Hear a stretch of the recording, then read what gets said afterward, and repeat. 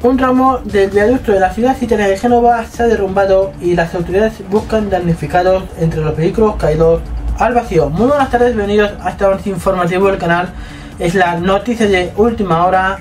Un tramo del viaducto de la ciudad italiana de Génova se ha derrumbado y las autoridades buscan damnificados en los vehículos caídos al vacío. Es la última hora desde Italia en la ciudad de Génova.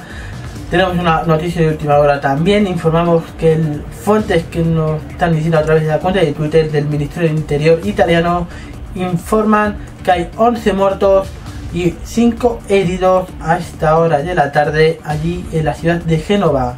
Es la última hora. También vamos a mostrarle esas imágenes del momento que se ha caído el tramo del viaducto en la ciudad de Génova, en la ciudad italiana. Son imágenes increíbles están entre niebla porque en ese momento, unas horas antes, había caído una tromba de agua en la ciudad de Génova. Es la última hora desde allí. Vamos a resumir brevemente lo que ha pasado.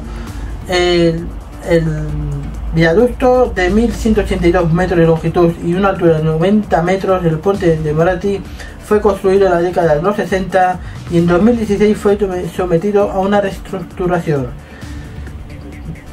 vamos a decirle que el puente de viaducto conecta la zona este, oeste de Génova con las ciudades de Sagua y Bendicla y pasa por encima de un río y viviendas y varias carreteras.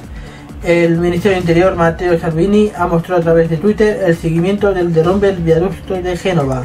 Estamos siguiendo minuto a minuto la situación del colapso del puente de Génova. Agradezco a los 200 bomberos y todos los demás héroes que están trabajando para salvar vidas. Repetimos esa noticia de última hora. Al menos 11 muertos y 5 han resultado heridos graves como consecuencia del derrumbe de un tramo en el viaducto de la ciudad italiana de Génova. Fuentes del Ministerio Interior italiano. Esa noticia de última hora. 11 muertos y 5 heridos a esta hora de la tarde en la ciudad de Génova en Italia es la última hora. Nosotros terminamos.